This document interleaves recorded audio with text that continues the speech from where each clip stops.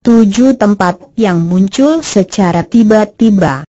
Kali ini, MTN bakalan ngebahas tentang tempat-tempat yang muncul secara tiba-tiba di dunia dan Indonesia. Penasaran tempat apa saja itu satu?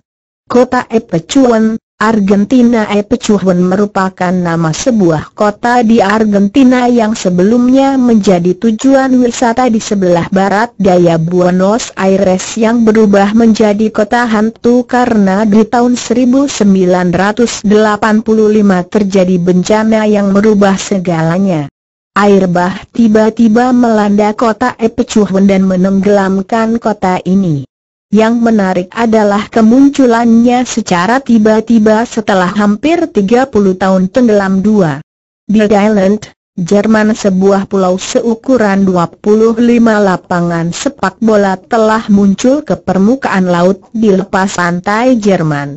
Daratan, yang terdiri dari gumuk pasir, secara bertahap muncul di perairan laut utara selama beberapa tahun terakhir terletak 15 mil di lepas pantai Schleswig-Holstein di Jerman Utara yang dikenal dengan Wattenmeer, sebuah taman nasional laut.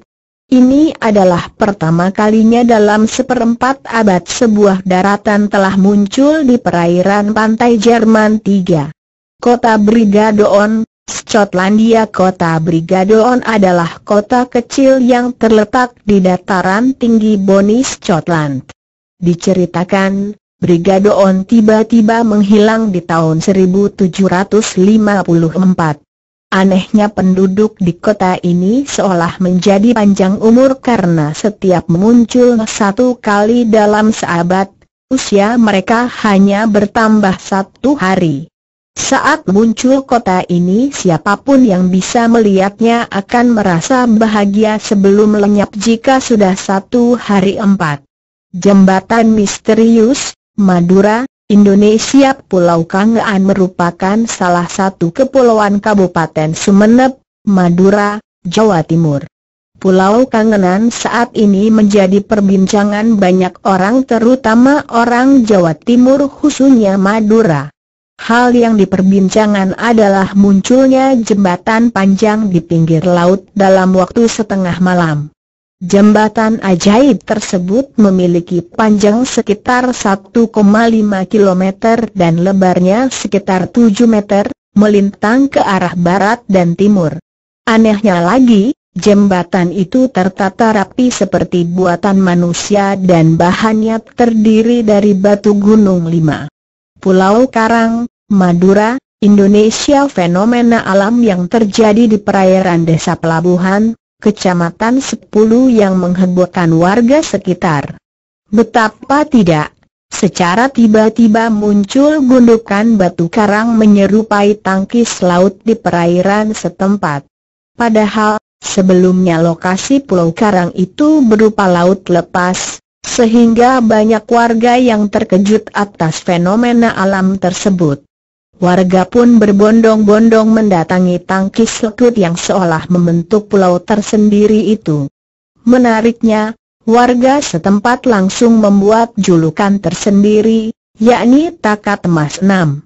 Gunung muncul di Maluku fenomena munculnya sebuah gunung setinggi 4 meter dari dasar laut perairan Pulau Warlabobar, Kabupaten Maluku Tenggara Barat sejak 9 Agustus 2008 pasca gempa tektonik berkekuatan 6,9 SR diakibatkan adanya tekanan endogen dari dasar bumi yang disebut para ahli dengan istilah diatropisme 7.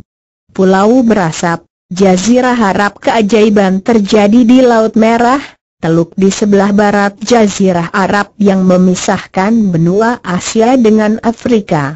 Teluk ini memiliki penghuni baru, sebuah pulau berasap. Pulau yang muncul tiba-tiba itu tercipta dari sebuah erupsi yang terjadi di Laut Merah awal bulan ini. Terbentuk dari material vulkanik letusan. Jadi pulau itu bisa jadi tak akan bertahan lama. Menurut laporan, Nelayan menjadi saksi semburan lava setinggi 30 meter pada 19 Desember 2011. Menurut vulkanolog dari Denison University in Granville, Ohio, Eric Telemeti, saat itu diperkirakan sebagai hari di mana letusan bermula. Nah, itu dia tempat yang muncul secara tiba-tiba, apakah ada lagi? Kita tunggu saja.